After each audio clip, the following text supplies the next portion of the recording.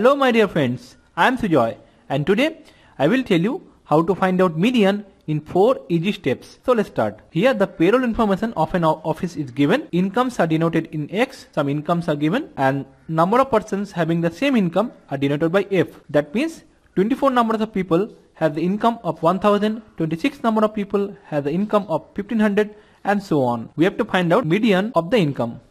Step 1. Arrange the X values in increasing order. Here they are in random order and write the corresponding f values next to it.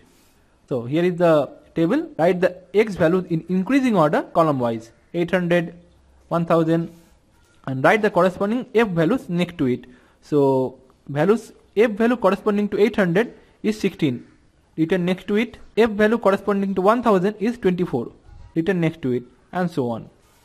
Step 2. Find the cumulative frequency by cumulatively adding all f values. That means write the first f value 16 and then add 24 to it. So 16 plus 24 is 40, 40 plus 26 66, 66 plus 30 96, 96 plus 20 116 and 116 plus 6 is 22. Step 3. Find n by adding all f values. n is summation of f.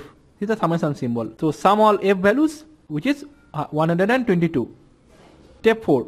Median is the value corresponding to n plus 1 by 2 from cumulative frequency column. Find out n plus 1 by 2 which is 122 plus 1 by 2 equals to 61.5 and value closest to 61.5 you have to find out in cumulative frequency column. So value closest to 61.5 in cumulative frequency column is 66. Corresponding x value is 1500 which is our answer.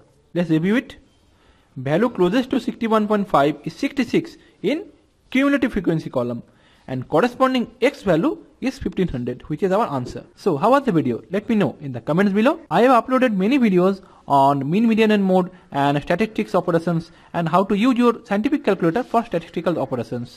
If you want to watch any of my previous videos and my upcoming future videos, please visit my YouTube channel. The link is given in the video description, also embedded in this video. And if you like the video or the video has helped you, please help me by liking it using the thumbs up button below. And don't forget to subscribe. By subscribing, you can stay connected with me and get regular updates from me. So thanks for watching. See you in my next video.